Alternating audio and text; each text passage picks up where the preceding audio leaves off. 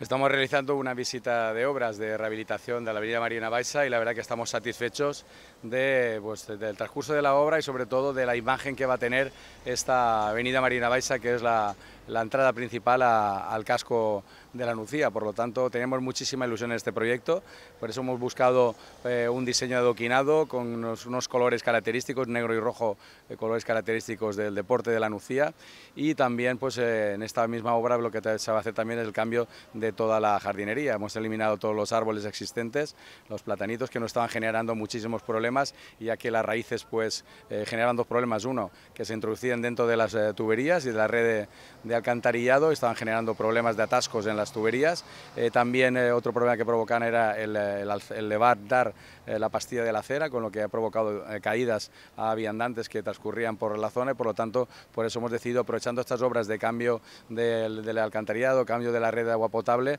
pues eliminar estos árboles y poner cocoteros para que de esta forma no haya ningún tipo de peligro a los pasajes, a, los, a las personas que vayan paseando por la acera.